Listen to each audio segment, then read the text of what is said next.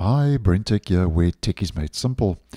So, in February of this year, I posted a video letting you know that Mozilla had introduced terms of use for the first time ever for the Firefox web browser. Video will be linked. Now, in regards to the terms of use, if we head over to the nightly version, which is an early preview, Mozilla wants new users to know about the terms of service and terms of use through a notification during the setup process or onboarding, as it's also called. And I mentioned that in that previous video. So this won't apply to existing users, but if you are installing the browser from the get go, those terms of use will show up on the new tab page basically.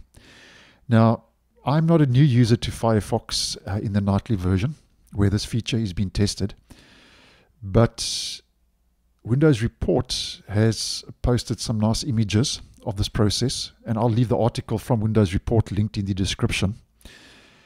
And here we can see that for new users or those creating new profiles in Firefox, Firefox will show a notification asking you to read and accept the terms of use and privacy notice, which also includes settings to manage or opt out of sending diagnostic and interaction data. Now, if we have a closer look at this process, we've got three main steps that will take place. So if you click on continue, it takes you to read our terms of use. Click on continue again. Goes to the second step, read our privacy notice. Click on continue again. Goes to manage diagnostic and interaction data. You've got two options here. Send technical and interaction data to Mozilla and automatically send crash reports. So you will have that option at least to toggle these features on and off depending on your own personal use case and preference.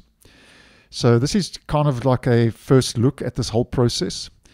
And the terms of use obviously has generated quite a lot of negative debate. And this is how the process will kind of play out in real time when you are setting up a new profile or are setting up Firefox, a clean installation of the browser. So basically, at the end of the day, with this feature, Mozilla wants to show you those terms of service at startup with the ability, thankfully, to opt out of sending data to Mozilla. So thanks for watching, and I'll see you in the next one.